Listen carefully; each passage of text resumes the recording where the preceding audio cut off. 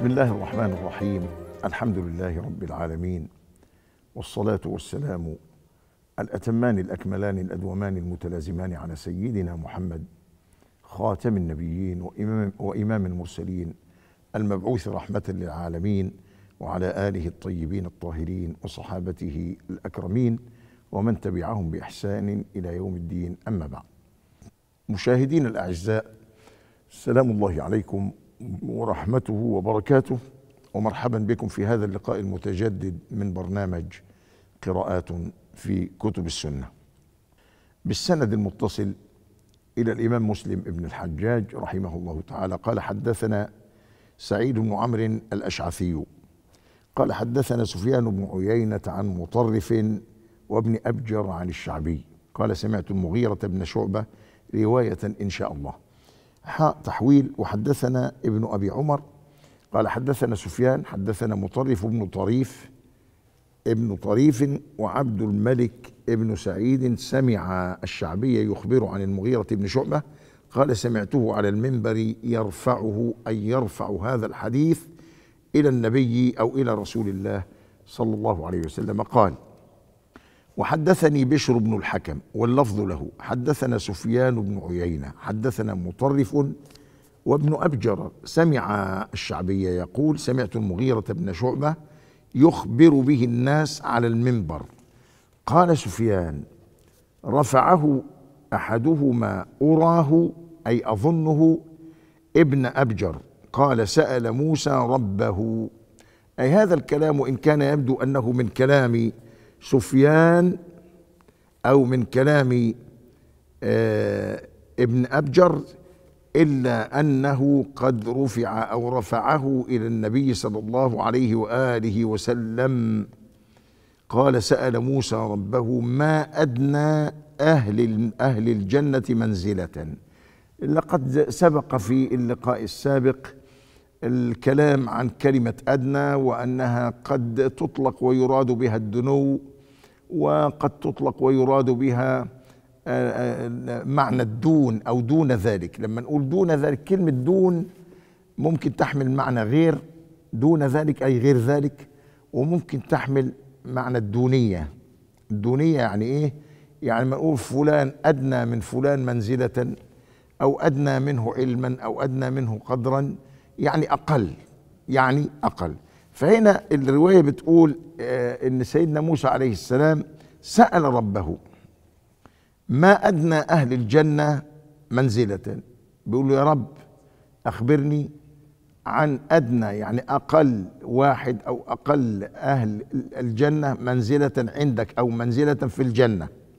قال هو رجل يجيء بعدما أدخل أهل الجنة الجنة فيقال له ادخل الجنة.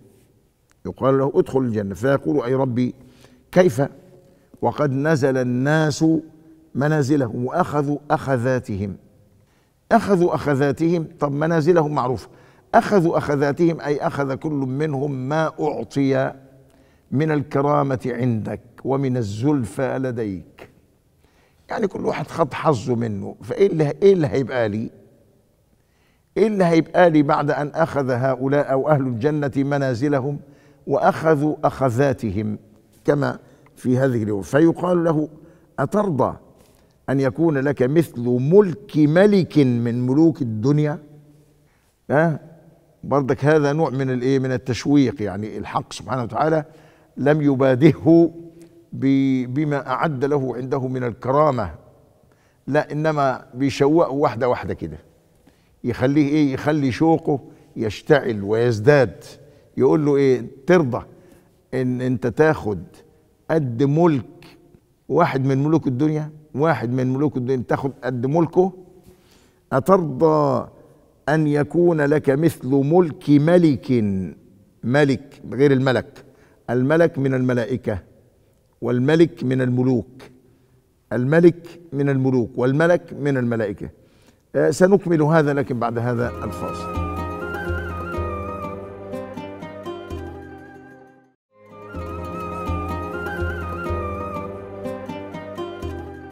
أترضى أن يكون لك مثل ملك ملك من ملوك الدنيا؟ فيقول رضيت ربي رضيت ربي.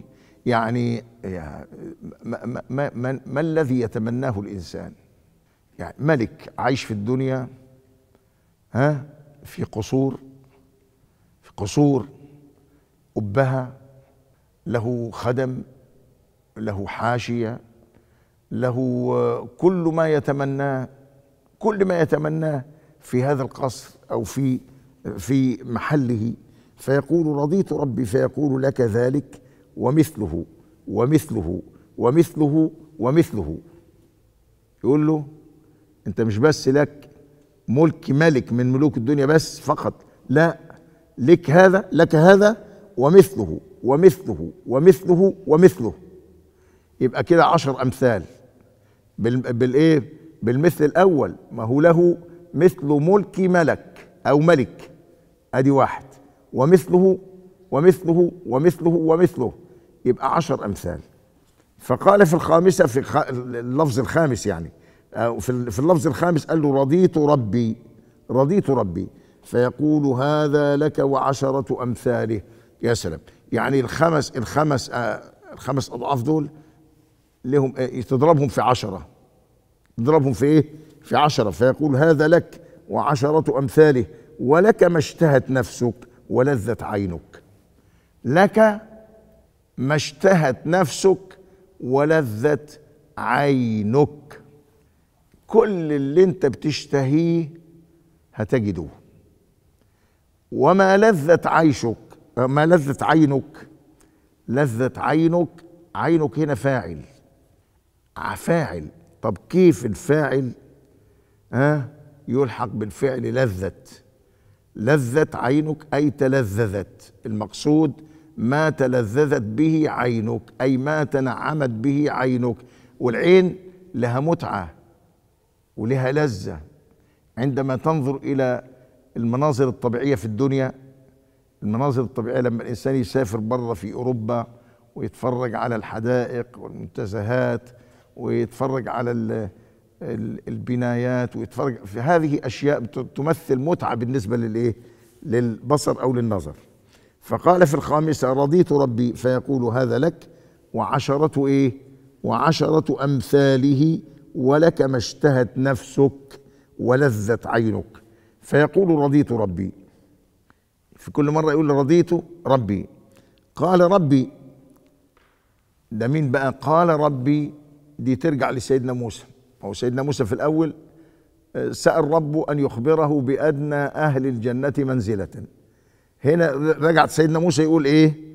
ربي فأعلاهم منزلة. طب آه أنت أخبرتني بأدناهم. أنت أخبرتني عن أدناهم منزلة اللي هو له. له مثل ملك ملك من ملوك الدنيا ومثله ومثله ومثله ومثله ثم عشرة أمثال ذلك. ده أقل واحد أقل واحد في الجنة. طيب أعلاهم منزلة بقى؟ فأعلاهم منزلة قال أولئك الذين أردت أولئك الذين أردت أي قصدت. دول اللي أنا عاوز أكلمك عنهم دول اللي أنا عاوز أخبرك عنهم. ده ربنا بيقول لسيدنا موسى دول اللي أنا عاوز أقول لك عليهم. أردت مش أردت.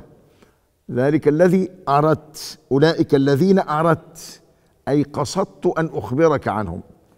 يقول غرست كرامتهم بيدي. غرست من الغرس. كرامتهم بيدي. ولله المثل الأعلى. شوف الكرامة هنا بقى تعتبر إيه؟ يا ترى إيه الكرامة دي؟ شجر نخيل أعناب. ما وعد الله به من الثمار أو الجنات يعني كلمة الكرامة بتشمل أشياء يعني ما ينبغي أن تحد بحد لا تحد بحد. كرامة قل ما تشاء بقى قل ما تشاء. بيوت غرف قصور حدائق منتزهات ثمار قل ما تشاء. غرست كرامتهم بيدي غرست كرامتهم بيدي. هنتكلم برضك عن حتة بيدي دي مساله مسألة بيدي دي زي ما ربنا قال لإبليس أنت إيه اللي منعك أن تسجد لما خلقت بيدي لما خلقت بيدي. هنتكلم لكن بعد هذا الفاصل. القصير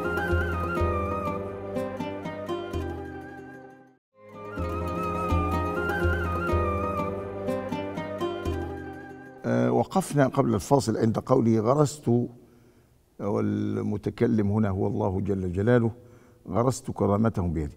لكن هنا إيه الحكمة من استعمال الفعل غرست؟ والغرس لا يكون إلا آه، لما يؤكل من نبات أو ثمار أو فاكهة أو ما شابه ذلك. أقول لا شك أن هذا من قبيل الاستعارة المكنية أو إحنا بنسميه استعارة بالكناية. أي أنه شبه ما أعده لعباده الصالحين أو لأصحاب الدرجات شبه ما أعده لهم بالغرس يعني بالإيه؟ بالثمار. وثم آه، آه، حذف المشبه المشبه به وأبقى شيئا يدل عليه اللي هو الفعل. غرست. وكأنما أعده الله سبحانه وتعالى لهؤلاء أصحاب الدرجات يعتبر ثمرة من ثمرات عنايته سبحانه وتعالى أو ثمرة من ثمرات يعني كرامته أو تكريمه إياهم تكريمه إياهم. غرست كرامتهم بيدي وختمت عليها.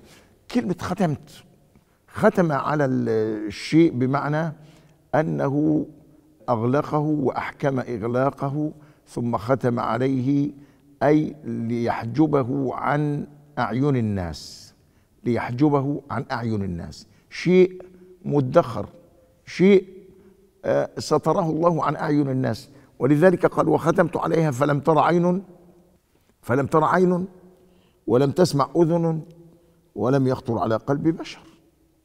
والكلام ده إحنا قلناه قلناه سابقا إن حق سبحانه وتعالى أعد لهؤلاء ما لا عين رأت ولا أذن سمعت ولا خطر على قلبي على قلب بشر.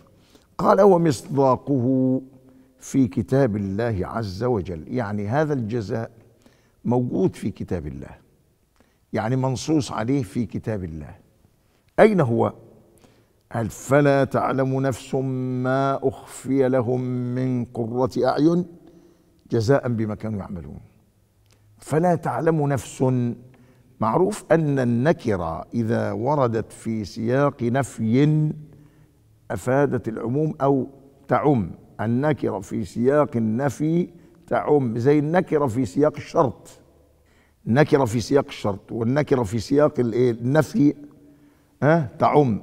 يعني لما يقول فلا تعلم نفس أي أي نفس. أي نفس يعني إيه؟ يعني أي نفس بشرية أي نفس من الجن أي نفس من الملائكة أي نفس من الحيوانات.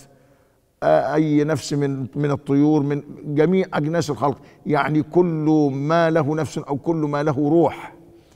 كل شيء فيه روح يعتبر نفس يعتبر نفس. فلا تعلم نفس أي نفس من هذه الأنفس أو من هذه النفوس. فلا تعلم نفس ما أخفي لهم. ما أخفي. طب لماذا لم يقل فلا تعلم نفس ما ادخر لهم؟ لو قال ما ادخر لا يلزم من الادخار عدم الاطلاع اطلاع الآخرين عليه. يعني جايز أنا مدخر لك شيء ولكن غيرك يعلم به يعلم به. لكن لما أقول ما أخفي لهم يعني ده شيء مدخر وربنا يعني أخفاه عن العيون أخفاه عن الأسماع أخفاه عن الأبصار أخفاه عن القلوب. لا تعلم نفس ما أخفي لهم من قرة إيه؟ من قرة أعين.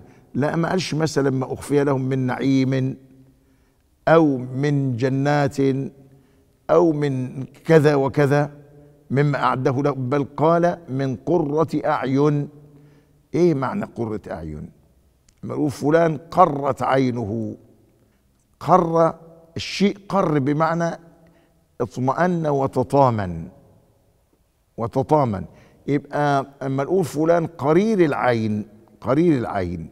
أو مثلا كما في قوله سبحانه وتعالى كلي واشربي وقري عينا وقري عينا. فقرة العين معناها إيه؟ معناه است... معناه تطامن النفس راحة النفس فرح النفس سعادة النفس. فالإنسان لا يجد لا يمكن ابدا. ممكن إنسان تبقى قرة عينه في أن يهبه الله مالا أو غنى أو ثراء أو جاها أو سلطانا أو أو نفوذا أو أن يعطيه الله ولدا أو أن يعطيه ذرية. يعني فاذا قره العين بتختلف في الدنيا عن الآخرة. فالآخرة أشياء ربنا أخفاها لم يعلم بها احدا وإنما هي مستورة حتى يفاجأ بها الإنسان يوم القيامة. وأسأل الله أن يجعل لي, ولكم نصيبا وحظا كبيرا في جنة الفردوس لقوله صلى الله عليه وسلم إذا سألتم الله فسلوه الفردوس فإنه أوسط مكان في الجنة يعني اعدى المكان وفوقه عرش الرحمن. وصلى الله على سيدنا محمد وآله وصحبه أجمعين وسلام الله عليكم ورحمته وبركاته.